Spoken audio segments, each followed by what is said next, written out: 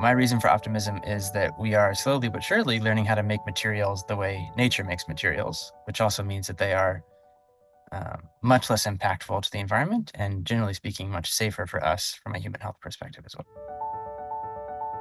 The core of the problem really is if, if you look around you, um, a huge fraction of what's probably in your sightline is either fully or partially petrochemical derived, and that includes also the things that you're wearing. Um, I think a lot of folks don't quite realize the extent to which modern materials and modern fabrics are oil in another form. The flip side of this is there's increasingly a very clear need to solve this problem.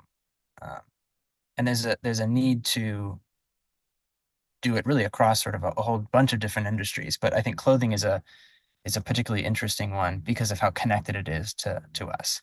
These are things that touch our bodies, that we interact with, that reflects our our desires, that reflect our cultures, that reflect our sort of sense of self.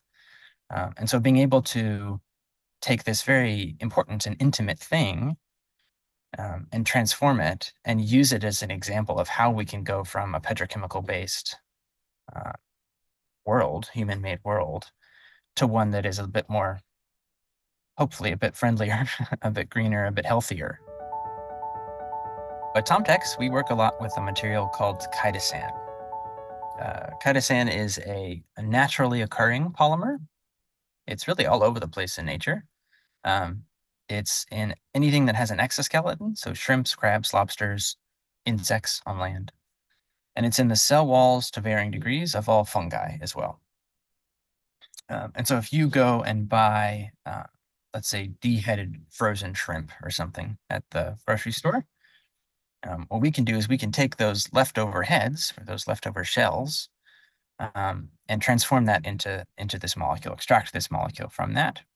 Uh, and that's important because uh, shrimp heads, shrimp shells are, are a waste stream if we don't do something with them, then they actually end up in a landfill or sometimes even back in the ocean uh, where they can cause all sorts of problems.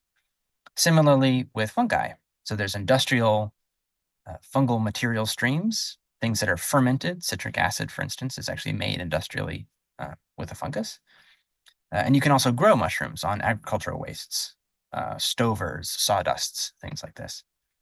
Uh, and same thing, we can take those that material and, and transform it or extract it into, into chitosan.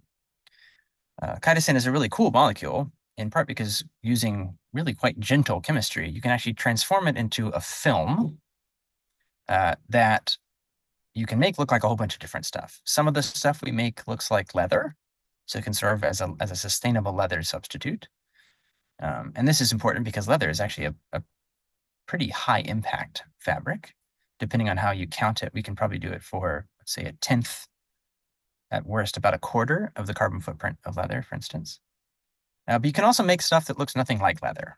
Um, you can make transparent materials. You can make it in nearly any color, nearly any texture. And so really, this is just a new type of fabric. Uh, it's not really so much an alternative to something. Again, it's a, it's a new possible future and a new way of making things. And at the same time, it's, it's actually genuinely sustainable because we're starting from this molecule, um, you end up with something that we've worked very hard to make it 100% bio-based. So there's no petrochemical carbon at all in it anywhere, not just no plastic, no petrocarbon at all. Right now, we're, we're really focused on actually getting this stuff out into the world. The scale of the problem here is quite large. It's one thing to make something at benchtop. It's another thing to actually get it out into people's hands, uh, get it out to designers, get it out to consumers uh, that can actually look at it, feel it, interact with it, hopefully love it. Um, so that's what we're really focused on. What you want to do is present a version of the future that is about a better future, a more possible future, a more expansive future, a more beautiful future, um, not an alternative to the thing that you love.